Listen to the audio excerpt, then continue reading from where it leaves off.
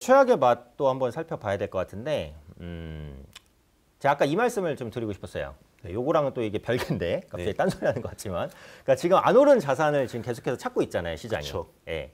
그러다 보니까 아 뭐가 안 올랐지? 그러니까 지금 주식, 주식도 비싸고 부동산도 비싸고 가상화폐는 뭐 급등했다가 또 급락하고 거기다 가 이제 금까지 가고 뭐 원자재 비싸고 곡물 비싸고 음. 네. 아우 다 비싸요 진짜. 다 비싸. 그런데 이제 미술품 시장으로 와서 미술품 또 급등하고 또 서울 옥션 날라가고 요런 이제 패턴이 갔다가 저는 이제 요런 흐름이 어디로 갈 것 같냐?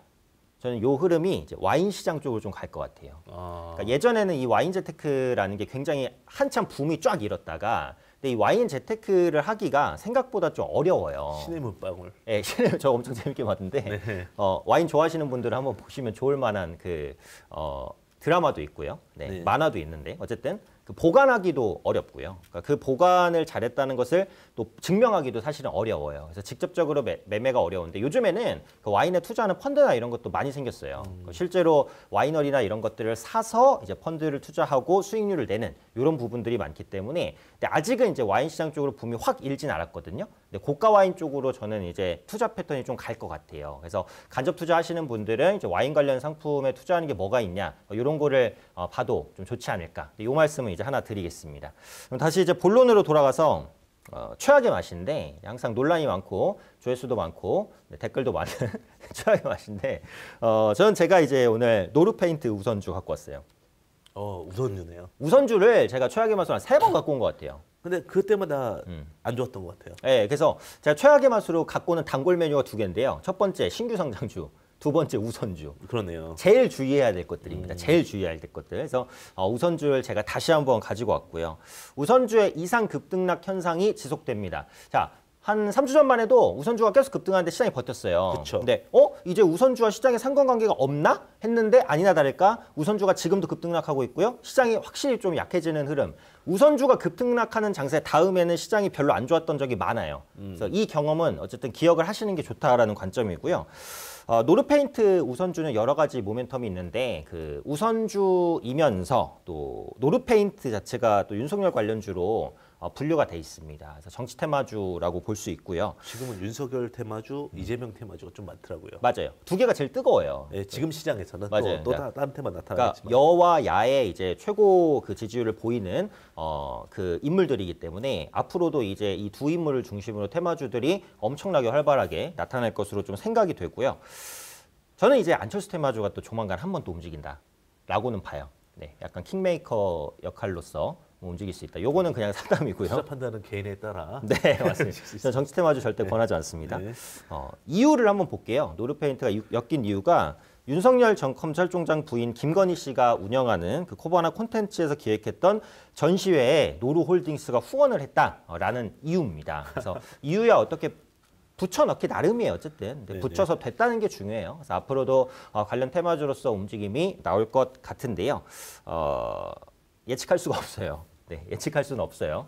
어쨌든 급등했다 급락했다. 근데 지금 기술적으로는 살짝 부진한 흐름이기 때문에 어, 주의를 해야 된다라는 관점이고 또 요즘에 페인트주가 또 강하기는 했어요. 왜냐면 어, 재건축, 재개발, 뭐 신규 주택 건축 이런 부분에 대한 기대감이 커졌고 페인트 많이 들어가겠죠. 실제로 요즘에 전방 산업이 회복되면서 페인트 공급 부족 이슈도 있긴 있어요.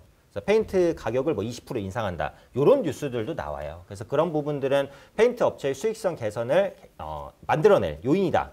라고는 생각을 하지만 그 요인으로 올라갈 거면 주가가 한 20, 30% 올라가야지 막 두 배, 세 배 올라가는 건 어쨌든 아니잖아요. 그래서 어, 이런 부분들은 전체적으로 다 주의가 필요하다. 결국은 우선주, 정치 테마주에 대한 주의 의견인 거고요. 기술적으로 20일 이평선 지금 간당간당해요. 그래서 21 평선을 다음 주에 회복을 한다라고 한다면 한 템포 정도는 더 움직일 것 같아요. 하지만 다음 주에 지키지 못하면 한 번 더 꺾일 수 있으니까 네, 이런 부분들은 좀 주의하자라는 관점에서 네, 오늘 최악의 맛으로 가지고 와봤고요. 어, 대표님의 이제 최악의 맛 종목 한번 볼까요? 네, 저는 최악의 맛을 음. 가상화폐 가상화폐, 에이티넘 인베스트 갖고 네, 왔습니다. 가상화폐 관련주, 관련주. 뭐 비덴트나 뭐 이런 것도 비슷한 개념이겠네요. 네, 맞습니다. 음. 사실은 저는 그래요. 그러니까 가상화폐로 누군가 큰 소득을 벌고 음. 또 주식으로 큰 소득을 버는 게 음. 저는 나쁘다고만 생각하진 않아요. 아니 그럼요 어떻게든 돈이야 벌면 되는 거죠. 그리고 좀 다 벌었으면 좋겠어요. 음, 그러니까 뭐냐면 어떤 취향만 못 버는 것도 싫어요. 근데 음, 그냥 다 두루두루 잘 보면 이게 이제 평화주의자이긴 한데 그럴 수가 없으니까요. 그렇죠. 그러니까 에이티넘 인베스트 같은 경우도 가상화폐 가격 약세에 대한 관련 주 우려감이죠 사실은. 음. 비트코인이 5천만 원 밑에까지 떨어졌었으니까요. 맞아요. 근데 이제 그 에이티넘 인베스트 같은 경우 이제 창투사 투자사다 보니까 뭐 두나무에서 투자하고 뭐 제약바이오 업체 투자하고 뭐 이렇게 되는 거예요. 음. 근데 그 회사 자체는 되게 좋아요. 안정적 재무 구조를 갖고 있습니다. 영업이익 한105 이상 나고 있고 이번에 이제 또 투자했던 회사들이 또 대박 나는 경우들이 많았어요. 창투사들 같은 경우는 음. 특히 이제 뭐 진단키트 만드는 업체들 같은 경우 는 몇백억씩 나왔으니까요.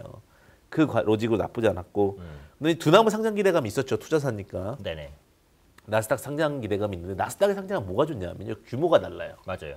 그러니까 우리나라가 쿠팡에 우리나라에 상장했으면 100조가 될 수 있었냐? 안 되지. 저는 없다고 봐요. 음.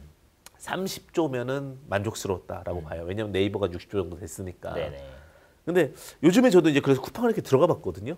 아, 좋긴 하더라고요.